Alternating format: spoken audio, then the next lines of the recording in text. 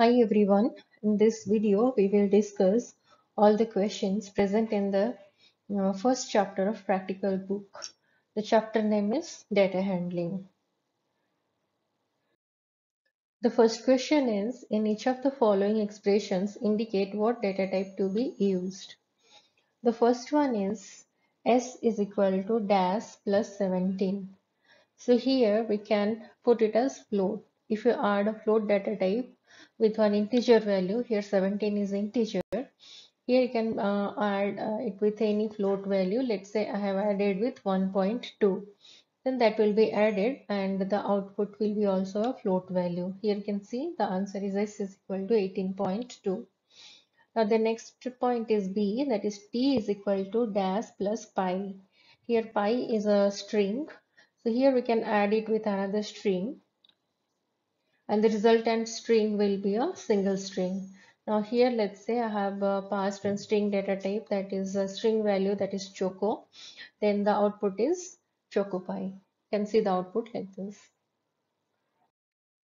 Now the next question is uh, x within square bracket you have to pass uh, some particular data type and that is equal to cat food. Cat food is a string value. So you can see uh, that is basically one index it is asking for one index value and always the index number is an integer data type. So the data type over here is int. So just to demonstrate this you can take one example. Let's say x is a list having these values. Three values are there, three strings are there and here I'm assigning x of 2 is equal to cat food. That means cat food is a value will be assigned to index number 2 of list x. Now let's see the output. You can see cat food is assigned in the index number 2 of list X. Now the next one is uh, dash dot sort. So sort function is called with a particular data type.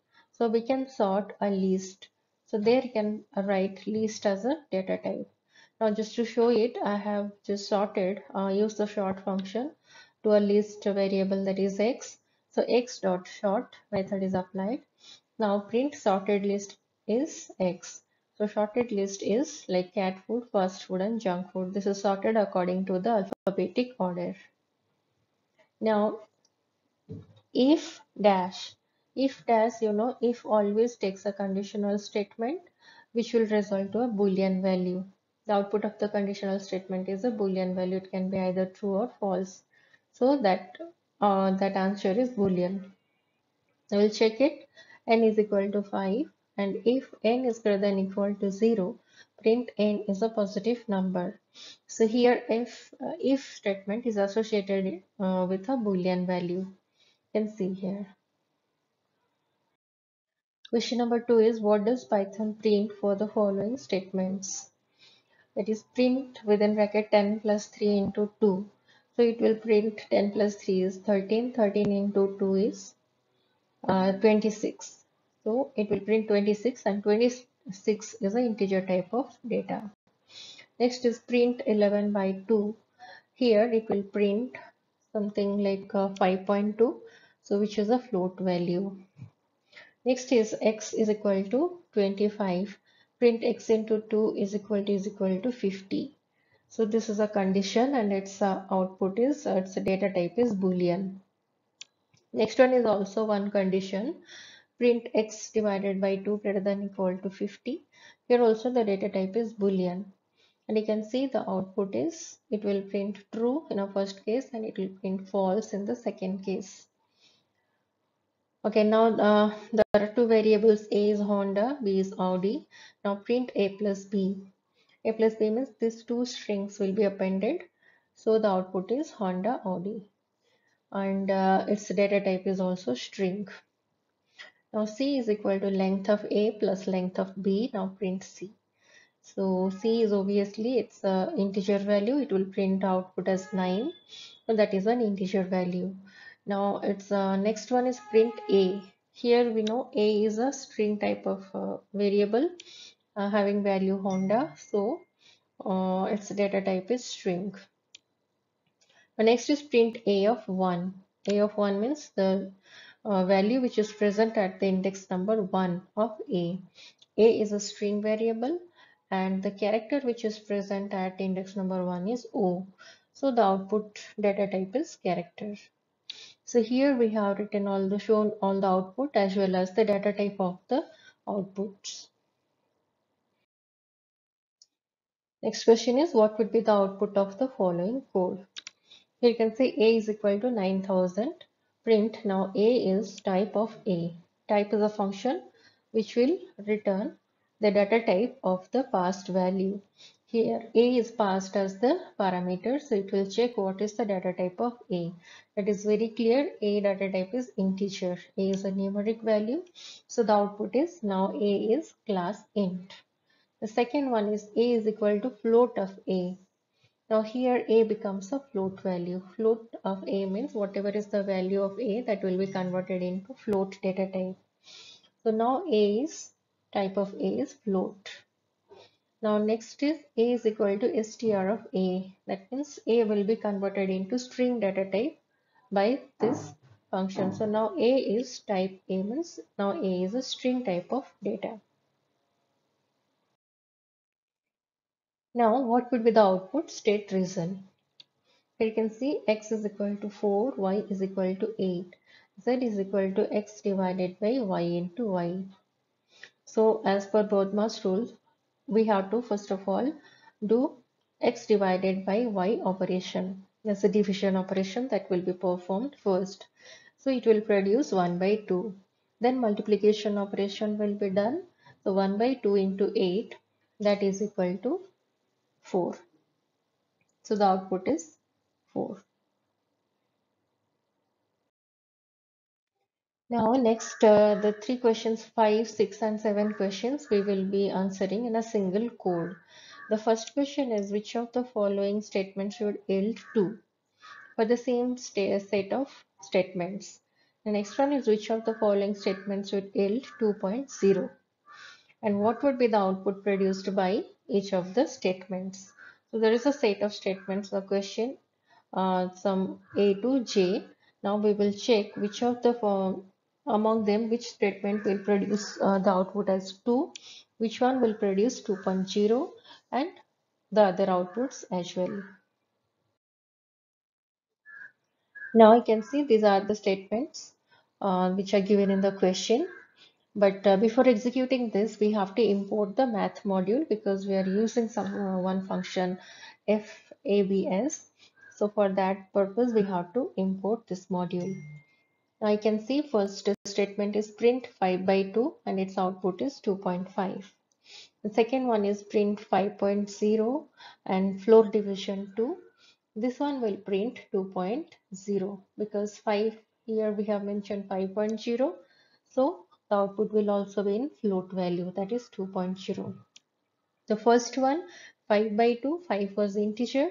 So after division it got converted into a float value decimal value so it is printing 2.5 and uh, next one is third one is print integer of 5.0 float division 2 so 5.0 float division 2 will produce 2.0 which is a float value so here we are converting it to it into an integer value so it will print normally 2 now next one is print math.fabs minus 5.0 divided by 2. That means it will print the absolute value whatever is the output. So minus 5.0 divided by 2 that will give you minus 2.5. But uh, since we are applying absolute method so it will be converted into absolute value that is positive value that is 2.5. Now next one is absolute value of minus 5.0 floor division 2. Here we are doing floor division so its output will be um, it will be 3.0 in float value positive value and here you can notice one thing uh, floor division in case of positive numbers will give you the uh, least uh, whole number. That means if uh, 5 5 divided by 2 floor division then it will give you 2 uh, whereas the actual answer is 2.5 so it will take the lowest whole number that is 2 but in case of negative numbers it will take 3 why? Because floor division always rounds away from 0 for negative numbers That means minus 2.5 will be rounded to minus 3 whereas plus 2.5 will be rounded to 2. That is how it is that you should remember. Now next uh, absolute value of minus 3 by 2 that is 1.5. 3 by 2 is 1.5 and it will be reproduce an absolute value that is positive value that is 1.5. Now print minus 5 by 2 the output is minus 2.5. Now print minus 5 floor division 2 that is minus 3 and print minus 5.0 floor division 2 that is minus 3.0. So this is how the outputs will be. So we have answered all the three questions, question number 5, 6 and 7 in all uh, in the same program. The first question is which statement will print uh, will give you the output as 2. You can see the third statement is giving you the output as 2 and which one will give you 2.0 the second statement will give you the output as 2.0 now what would be the output of the following? So here basically there are some certain things for which it is asking the data type okay so within the type function different things have been passed then we have to find out what is the data type of the value which is passed the first one is you can see type of 1 comma 2 here 1 and 2 has kept within square brackets. So obviously the value which is passed within the type function is a list type of value. So the output is list. The data type is list. The second one is print type 1 comma 2. Here within the type function we are passing 1 comma 2. But uh, here you can notice one thing. 1 comma 2 has escaped within parenthesis so it is a, a tuple. But it has to be passed within the type function. Type is a function. Whatever value is to be passed has to be passed within parenthesis. So one more parenthesis is missing over here. That's why this statement will produce error so to correct this uh, statement, the next statement is just the corrected one of this statement. Here you can see in the next type uh, statement, mm, uh, here you can see that there are two parentheses after type. First one is uh, to specify the uh, parenthesis of the function uh, type and the next one is the tuple which is having value 1 comma 2. So here you can see the type is tuple. Type of 1 comma 2 is a tuple. Next type of 1 divided by 2. 1 divided by 2 will produce the value 0.5. So its data type is a float. It's a float type of value. Now next print type of 1 comma 2 same within square brackets. So this is a repetition of the first one. So this one will also produce the output as list. The second one is also a tuple. And third one is also the type is also a tuple. 1 by 2 comma there is some other value which is not mentioned but it is kept within um, parenthesis. So that is a tuple. Now the next question is what would be the output of the following code? Here x is equal to true, y is equal to false and z is equal to false. So print x or y and z. So here you can see or and and both operations are there. So which one to do first? First of all, you have to do AND operation. Why? Because it has the higher priority than OR operation. So first Y and Z will be done y and z false and false will produce the output as false. Now x is true. So true or false will give you the output as true. So the result is true. Now what would be the output of the following code? Here x is equal to true, y is false, z is false. Now print not x or y. Not x means x is true, so not x is false or y, y is false. So false or false, it will produce the output as false. The next one, print not x or not y and z. So here you can see here and is there, or is also there, not is also there. So first of all, which one to do? First, you have to do not operation. So wherever not is there, you have to do first one, not x. First you find out not x is false. Then or not of y not of y is true and z that means false or true and false now next you have to do the AND operation. That is true and false. It will produce false. Now false or false it will produce false. So the final output for this print statement is false. Now next print not x or y or not y and x. So you have to do not operation first of all. Not x is false or y is false or not y that is true and x that is true. So false or false or true and true. So first AND operation will be done true and true that will produce true. Then all the OR operations false or false or true. Finally the output will be true. The next one is print ant less than amoeba. This one will produce true or false. So First, it will check character by character. Alphabetically, it will check. The first two characters in both the strings, that is A. So both the first characters will be same. The next character N and M. Now it will check whether N is greater than M or not. Now here as you can see, N comes after M. So N will be greater than M. So this condition will produce false as its output the final print statement will be producing false. So here you can notice one thing, not operation will be done before AND and OR operation. Now the next question is to write a program to find the side of a square whose perimeter you read from user. So you can see here P is equal to uh, input enter the perimeter of the square. So this will be printed. So user has to enter the perimeter which will be stored in a variable called p. Uh, it has to be converted into integer value also. Now s is equal to p by 4 that means the side of the perimeter is perimeter by 4 so it will print the side of the square is s. So once you run the program it will ask you to enter the perimeter of the square. And uh, let's say you have entered the value as 20 then it will print the side of the square is 5.0. Now write a program to calculate the distance of 1056 feet in terms of yards and miles. One mile is equal to this many yards and one yard is equal to 3 feet.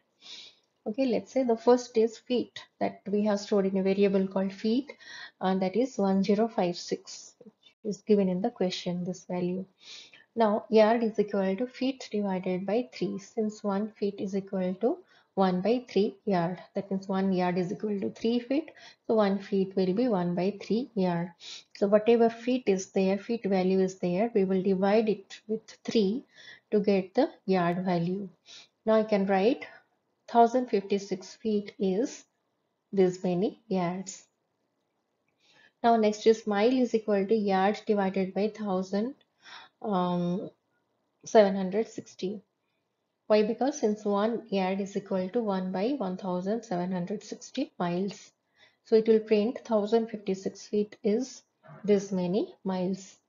Once you run the program, can get the output like this. 1056 feet is 352 yards and 1056 feet is 0.2 miles. Now, the next question is like this. An athlete is taking rounds of a triangular park with sides 30 meter, 25 meter, 35 meter. He has run 560 meter. Write a program to print how many rounds of park he has completed. You can see the sides of the triangular park is given in the question. So we can just put it on three variables, side 1, side 2 and side 3. Side 1 is initialized with 30, side 2 is 25 and side 3 is 35 and total distance covered by the athlete is 560 which I have kept within a variable called distance. Now we have to find out the perimeter of the triangular park and you can divide it with the distance to get the number of rounds the athlete did. So perimeter is uh, taken in a variable called peri which is side side 1 plus side 2 and side 3.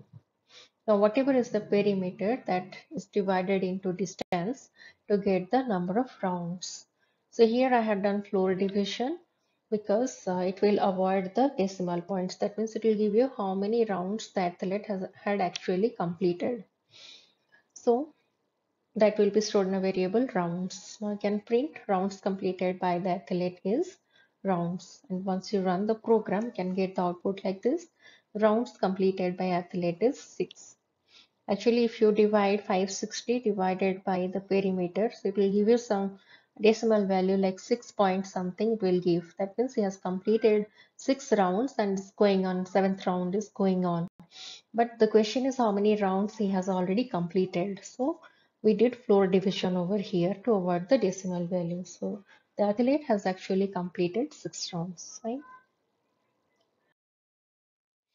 now this one is very simple write a python code to calculate and print the number of seconds in a year so you know that a year has having 365 days and one day is having 24 hours, one hour is 60 minutes and one minute is 60 seconds. So we can just multiply those values 365 into 24 into 60 into 60 and whatever result we can store in a variable called second or SEC.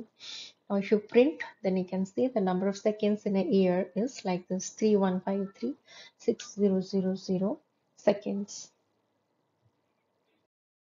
Now here ends the solutions of the um, practical book chapter 1.2 that is data handling.